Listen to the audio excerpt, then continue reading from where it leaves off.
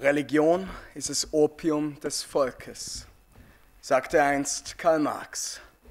Ich wiederum behaupte, Religion ist der Rettungsring im turbulenten Meer der freien Welt.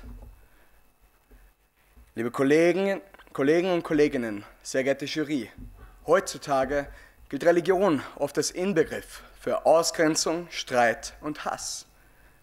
Doch in den nächsten paar Minuten werde ich Ihnen erzählen, dass Religion nicht nur das Fundament einer modernen Gesellschaft ist,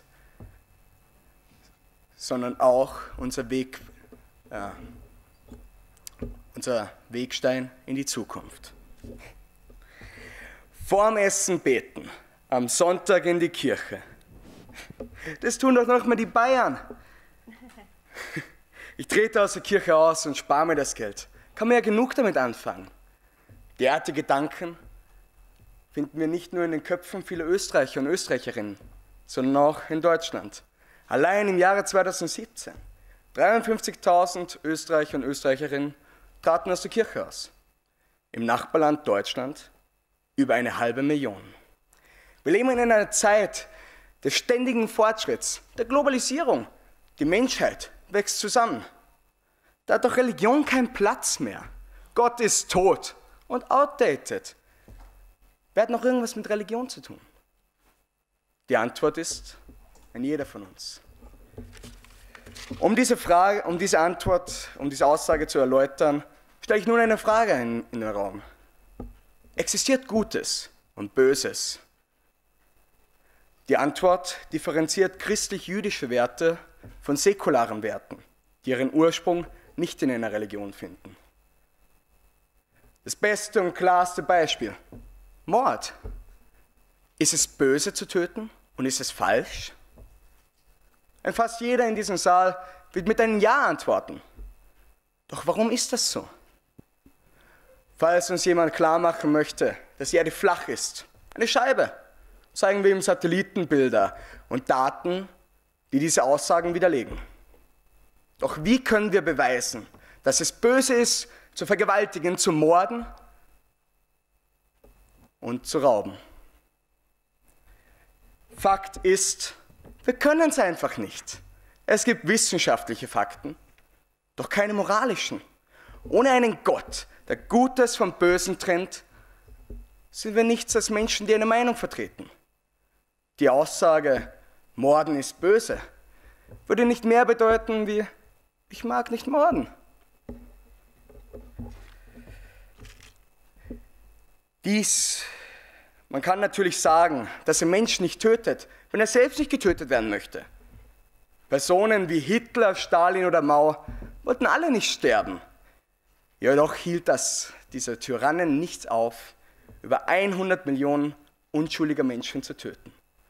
Kein Wunder, dass die Ablehnung christlich-jüdischer Werte im Nationalsozialismus und Kommunismus dazu führte, dass so viele arme Menschen ihr Leben geben mussten. Dies bedeutet aber auf gar keinen Fall, dass die Existenz von Gott versichert, dass Menschen Gutes tun.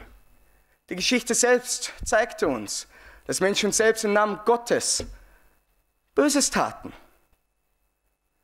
Aber was diese uns beweist, ist ein objektives Moralverständnis.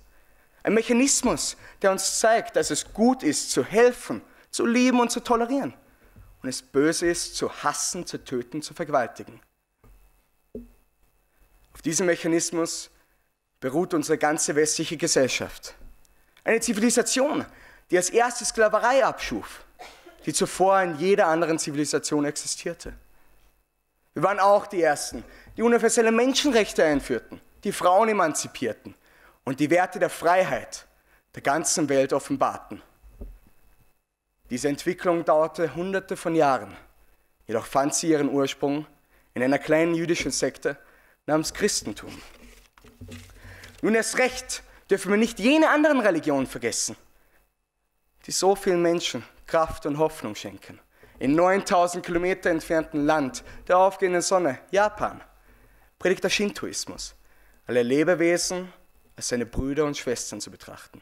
Ihre Nachbarn, die Konfuzianisten, trachten nach einer Welt, in der alle Völker in Harmonie und Freundschaft zusammenleben. Die Buddhisten und Hinduisten lehnen jegliche Art der Gewalt ab und wollen nicht nur das Beste für sich selbst, sondern für jeden von uns. Kommt das nicht Ihnen bekannt vor? Diese Aussagen finden Sie in jeder der Weltreligionen und sind bekannt als die goldene Regel. Die goldene Regel macht die Toleranz und Gleichheit zur Norm einer jeden Religion. Der Mensch wird zu einem Individuum, das Toleranz und Empathie zeigt, der seinen Nächsten noch, weder noch mit Hass, Gewalt oder Neid begegnet.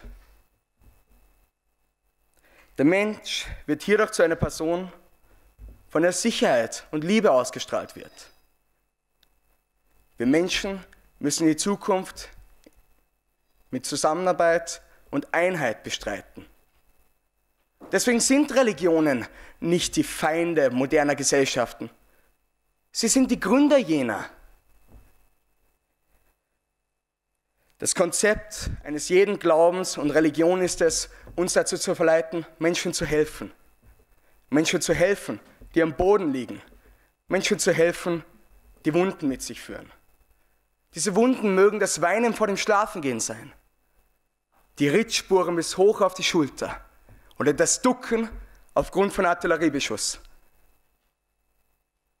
Denn am Ende sind wir keine Christen, Buddhisten, Muslime, Shintoisten oder Muslime.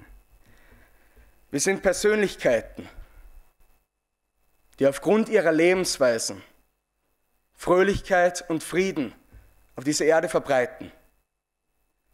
Ich sage zu ihnen, Shalom, Salam Malaikum, der Friede des Gottes sei mit ihnen und haben Sie einen wundervollen Tag. Vielen Dank fürs Zuhören.